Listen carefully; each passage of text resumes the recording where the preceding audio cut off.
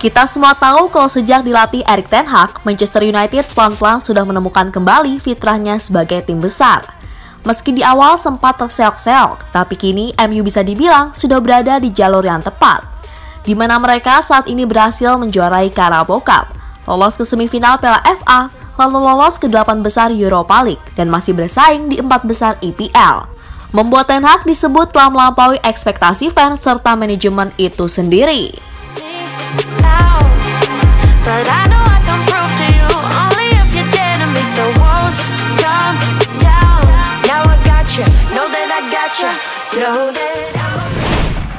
Nah, berbicara soal Ten Hag, pria Belanda berkepala botak yang satu ini memang terkenal akan sifat galaknya yang luar biasa.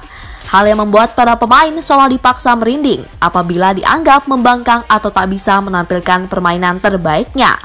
Kendati begitu di satu sisi, Ten Hag juga merupakan pelatih yang sangat dicintai. Untuk itu, mari sama-sama kita simak. Kira-kira gimana sih komentar para pemain MU tentang Erik Ten Hag itu sendiri?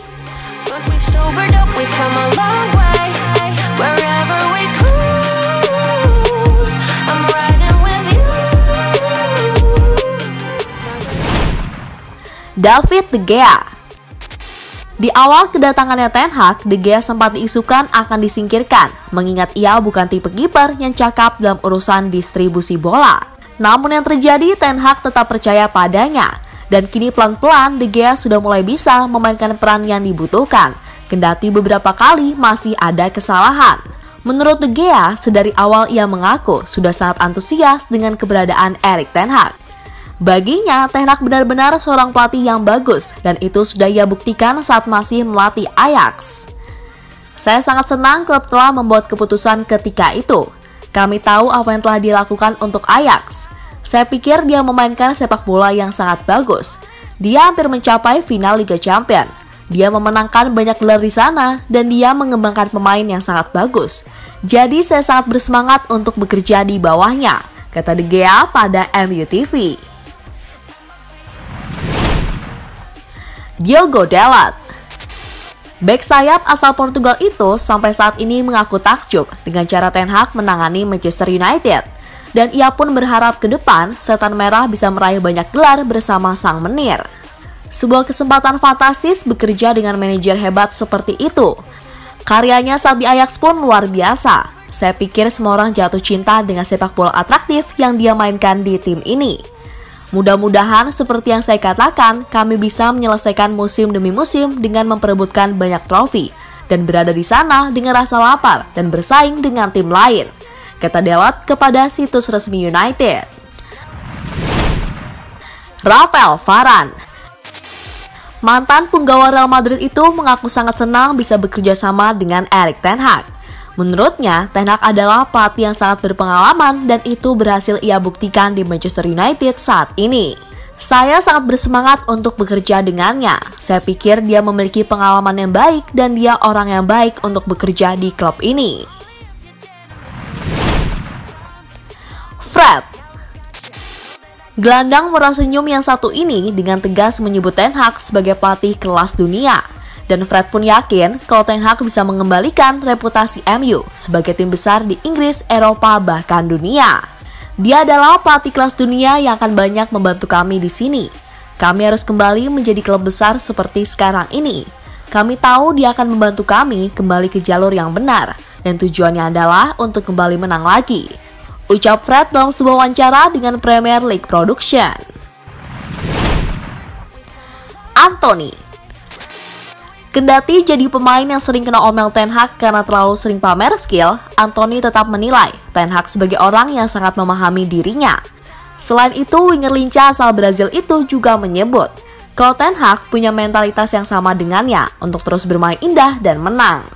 Kami memiliki mentalitas yang sama. Saya bukan orang yang senang dengan sedikit kesuksesan. Saya ingin trofi dan segalanya, dan ada banyak pemain yang juga berpikir seperti itu. Mentalitas ini menyebar di dalam squad dan semua orang mendayung perahu menuju arah yang sama. Lisandro Martinez Back kesayangan Ten Hag yang satu ini mengatakan kalau Ten Hag adalah pelatih yang sangat intens. Terlebih, ia juga mengaku kagum dengan cara Ten Hag menanamkan mentalitas pemenang kepada setiap pemain yang ada saat ini. Saya bersamanya selama tiga tahun di Ajax, dan saya tahu gaya permainannya. Dengan dia, saya banyak berkembang, jujur. Dia sangat penting dalam karir saya. Dia sangat intens, pasti. Sepak bola yang bagus, mentalitas pemenang, Anda tahu, itu hal yang paling penting. Dalam waktu singkat, kami mendapatkan trofi pertama, jadi kami harus bekerja untuk segalanya. Kami harus percaya. Klub ini menuntut untuk memenangkan setiap pertandingan, setiap gelar, jadi kami dengan senang hati mengambil tanggung jawab ini. Harry Maguire Kapten MU saat ini itu mengatakan kalau Ten Hag adalah tipe pelatih yang sangat gemar menuntut. Selain itu, Maguire juga menyebut kalau pelatih asal Belanda itu sangat galak namun di satu sisi, Maguire juga menilai jika Ten Hag memang punya standar tersendiri dalam melatih. Saya harus katakan, ide-idenya berbeda dari apa yang biasa kami lakukan. Musim ini, ia membuktikan kalau caranya berhasil dan juga berhasil di masa lalu. Ia membawa filosofi dan ide tentang bagaimana dia ingin kami bermain. Ia mungkin akan memberitahu Anda bahwa masih banyak perbaikan yang perlu kami lakukan. Ia sangat menuntut dalam segala hal yang dia lakukan dan semua yang dia katakan. Apakah itu di lapangan latihan atau apakah Anda melakukan latihan passing di awal dan Anda melewatkan umpan, dia langsung menegur Anda dan itulah tuntutan yang dia tetapkan. Ia menginginkan standar yang tinggi. Bruno Fernandes Playmaker asal Portugal itu mengakui bahwa ia dan rekan-rekannya sempat meragukan ketegasan Erik Ten Hag saat pertama kali datang ke Manchester United. Akan tetapi, seiring waktu, ia terkejut karena ketegasan itu benar adanya dan tidak pandang bulu. Waktu dia pertama kali datang dan kami melakukan sesi latihan di sebuah tur pramusim, dia mengatakan kepada kami, kalian harus melakukannya atau kalian keluar, kalian tidak akan bermain. Kami yang mendengarkan sempat berpikir, apakah dia benar-benar akan melakukannya atau tidak. Misalnya pemain besar tidak mau melakukan apa yang diperintahkan, akankah dia mengusir pemain itu atau tidak? Dan dia ternyata melakukan itu berkali-kali.